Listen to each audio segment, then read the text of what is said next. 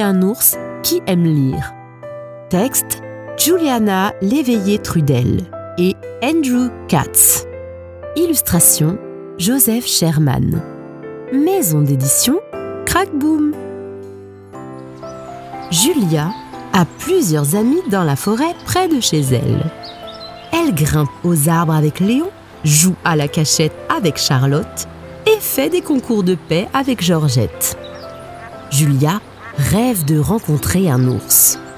Elle aimerait transformer son ventre en radeau pour naviguer sur la rivière et pique-niquer avec lui dans la clairière. Et surtout, elle voudrait lui donner un énorme câlin. Un câlin d'ours. Mais aucun ours ne montre jamais le bout de son museau. Aujourd'hui, Julia est plongée dans son livre. C'est l'histoire d'un ours qui entame un long voyage pour rendre visite à une amie très chère. En chemin, l'ours sent son estomac qui gargouille. Il s'arrête près d'un buisson pour trouver une collation. Julia relève la tête, les yeux brillants. Elle a une idée. Elle apporte dans la forêt un goûter parfait pour un ours et attend patiemment que l'odeur du miel se répande à travers les arbres. Mmh. Julia se retourne, le cœur plein d'espoir. Oh, oh, ça a l'air délicieux s'exclame Léon. Puis-je trempé ma pâte Julia hésite, puis hoche doucement la tête. Toujours pas d'ours. Le matin suivant, Julia se rend dans la forêt avec une autre gâterie. Et puisque les ours se laissent parfois désirer, elle apporte aussi son livre. Julia reprend sa lecture. L'ours tend gentiment la patte à une vieille tortue qui traverse la rivière. Comme Julia tourne la page, le vent se met à chanter dans les feuilles des arbres. Crac Julia sursaute. Désolée d'avoir renversé tes bleuets, Julia. Je ne regardais pas où j'allais. Léon, Georgette et moi sommes en pleine partie de cachette. Charlotte l'aide à ramasser les bleuets. Toujours pas d'ours. La voix de la maman de Julia résonne à travers la forêt. Julia À table C'est l'heure de manger. À tout à l'heure, Charlotte. Un peu plus tard, Julia retourne chercher son livre dans la forêt. Mais son livre a disparu. À l'endroit où elle l'avait laissé, elle trouve une drôle d'empreinte. Bleue et beaucoup plus grande que toutes les empreintes qu'elle a déjà vues. Son cœur culbute. Qui a fait ça? Elle regarde tout autour d'elle. Personne. Mais juste un peu plus loin, elle voit une autre empreinte bleue. Puis une autre et encore une autre. Hé Julia, prête pour le concours de paix? Désolée Georgette, je ne peux pas péter maintenant. Je cherche quelqu'un. Qui? répond Georgette. C'est justement ce que je dois découvrir. Où allez-vous? demande Charlotte qui s'approche avec Léon. Georgette chuchote.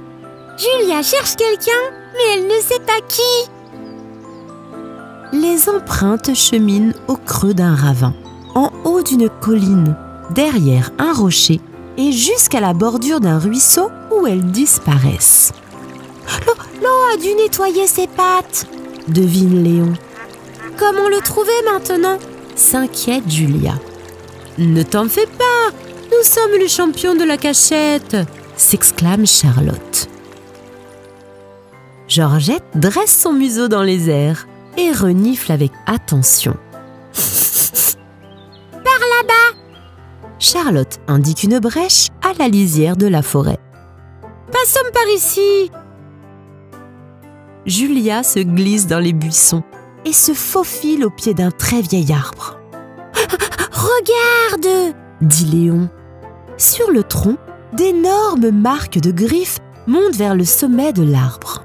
Julia inspire profondément puis empoigne la première branche. Es-tu certaine de vouloir monter là-haut? demande Georgette. Je serai prudente. Je, t'accompagne, propose Léon. Ah, au, cas où. Julia se hisse dans l'arbre en grognant, comme un ours. Elle attrape une branche à la fois, s'agrippe au tronc et se fraye un chemin de plus en plus haut. Ah, tu grimpes au- aussi bien qu'un écureuil. s'exclame Léon. Julia bute sur un immense nœud. Oh, ah, Elle tente de le contourner de différentes manières, sans succès. Même Léon ne peut pas l'aider. je vais y arriver. À bout de souffle, elle rassemble toutes ses forces pour une dernière tentative et, cette fois, elle réussit. En haut de l'arbre, Julia s'effondre, hors d'haleine. Oh, C'était dur. Ju- Julia, regarde, S'exclame Léon. une maison. Nichée sous les feuilles, une maison, la porte entr'ouverte. Le cœur battant, Julia s'avance. Euh, je, je, je t'attends ici. Dit nerveusement Léon. Hmm, euh, si tu as besoin de moi, euh, je serai là en un instant. Julia frappe doucement. Pas de réponse. Elle cogne plus fort. Toujours pas de réponse. Elle jette un œil à l'intérieur. Un ours ronflant paisiblement sur le plancher. Un ours. Et des livres. Du plancher au plafond, étagères remplies de livres. Et là, ouvert sur la poitrine de l'ours, son livre. Le cœur de Julia déborde de joie, mais elle sent aussi une toute petite peur. Elle est entrée dans la maison d'un ours sans avoir été invitée. Mais elle ne peut se résoudre à partir sans son livre. Julia s'approche sur la pointe des pieds et reprend délicatement son livre. Je reviendrai plus tard pour me présenter, pense-t-elle. Attends appelle une voix grave et profonde. Julia se fige sur place. Attends S'il te plaît, tu peux prendre ce livre. Mais avant, pourrais-je lire la fin? J'ai fermé l'œil, juste au moment où l'ours allait retrouver son ami. Julia se retourne lentement et regarde l'ours stupéfaite.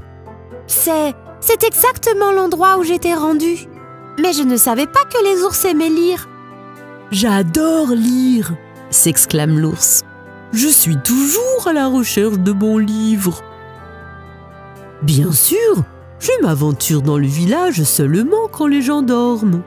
Le meilleur endroit pour faire de belles trouvailles, c'est derrière la bibliothèque.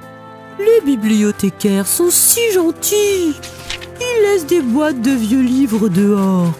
Oh, les trésors que j'y découvre. Mais aujourd'hui, j'ai trouvé ce livre. Ici, dans la forêt. Une odeur de bleuet a titillé mes narines et m'a mené jusqu'à lui. C'est moi qui ai apporté ces bleuets. Et c'est mon livre. Confie Julia. Je l'ai oublié dans la forêt.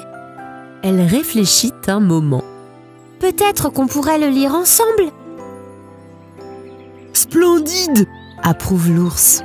Mais où sont mes manières? Je m'appelle Bertrand. Il tend la patte. Je m'appelle Julia. Répond Julia en secouant vigoureusement sa patte. Il y a un joli coin de lecture sur la galerie, dit Bertrand. Installe-toi, je reviens dans une minute.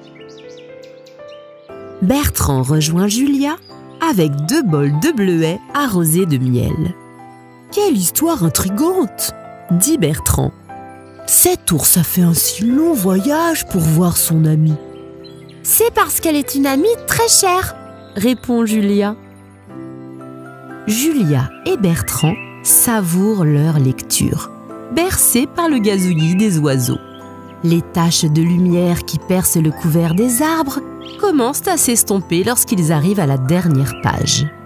Un instant plus tard, la voix de la maman de Julia qui l'appelle atteint le sommet de l'arbre.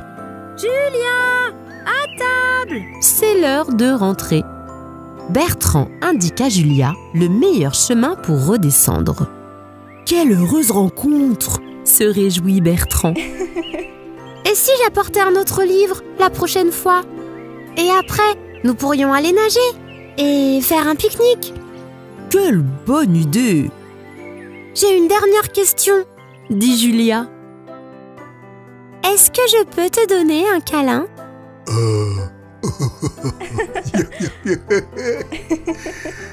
Oh, qu'ils sont mignonnes tous les deux. Ah oui, c'est un nouvel ami. C'est surprenant un ours qui aime lire des livres. Et toi, tu aimes lire? Ça fait du bien de se détendre avec des histoires.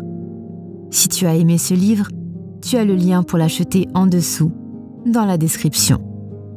Et pour ne louper aucune histoire, tu peux t'abonner à la chaîne, activer la cloche pour être informé des nouveautés, mettre un pouce en l'air et nous écrire un joli commentaire. À très vite les amis.